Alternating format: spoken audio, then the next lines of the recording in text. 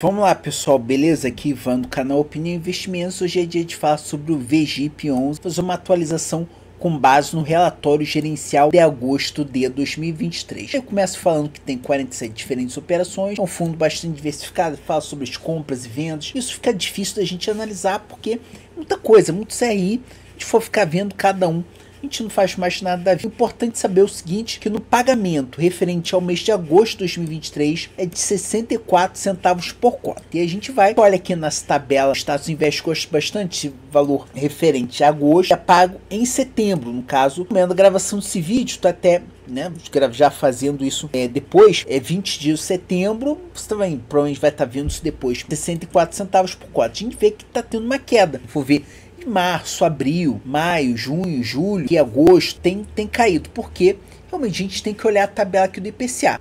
De fevereiro de 2023, 0,84, março 0,71, abril 0,61, maio 0,23 e aqui é que está a grande questão. Esse que ele coloca aqui no relatório gerencial que a defasagem é mesmo utilizada na remuneração, ou seja, existe uma defasagem, quer dizer, não quer dizer que o que é pago em setembro é o IPCA de agosto, não. Que é pago em setembro, é referente ao mês de agosto, que é formado pelo mês de junho e julho, tá? é M-2. Ou seja, esse valor aqui é pago de 104 centavos não é nem o que é formado em agosto, formado parte de julho e parte de junho. Por isso você pega o 0,12 menos aqui o 0,08. Então realmente deu menos. Mas aqui, por exemplo, que for pago, que vier aqui em cima em outubro, vai ser referente a setembro, que é formado por agosto e julho, ou seja, que você já vai pegar o 0,23 e o 0,12, ou seja, esse pagamento de dividendos provavelmente deve voltar, não sei se vai voltar para o 0,85, mas já vai ser maior.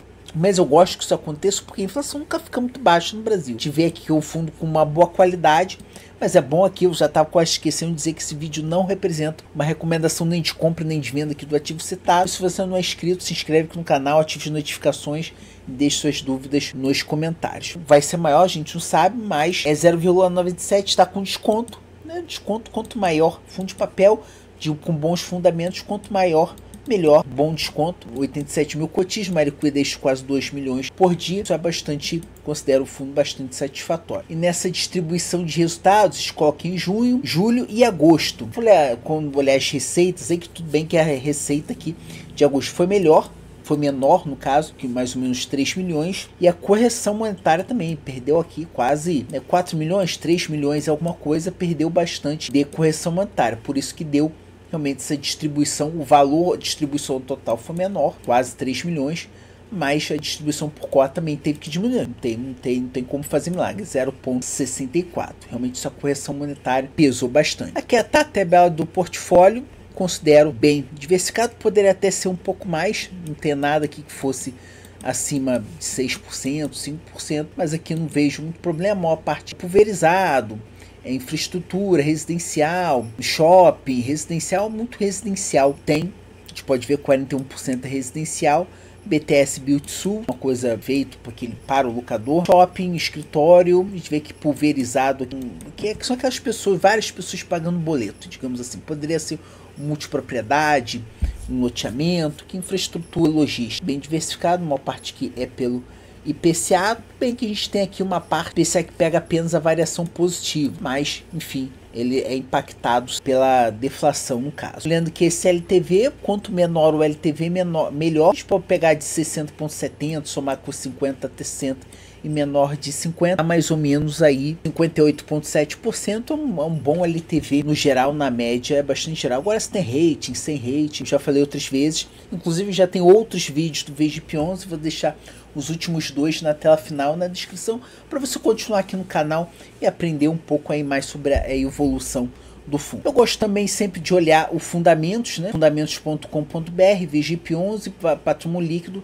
e valor de mercado. Se a gente for pegar desde 2020, ele é sempre, a gente vê o patrimônio líquido aumentando ao longo do tempo, fazendo emissões. Essa linha verde é aquilo que é negociado, né? o valor de mercado, no caso, aquilo que está sendo negociado. Então, normalmente ele está acima dessa piscininha azul que é o patrimônio líquido, que é aquilo que é realmente válido. Né? Chegou lá bastante no topo lá no mês de julho de 2022, depois veio caindo, veio caindo, a partir mais ou menos de agosto, setembro de 2022 caiu, caiu, caiu, depois agora o PVP já está se recuperando.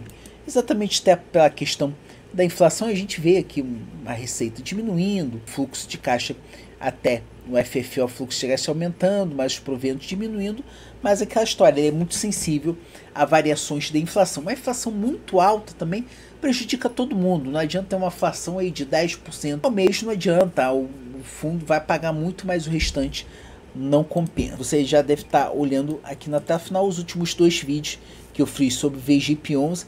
Tá aqui o preço, né? Tá mais próxima da máxima do que da mínima.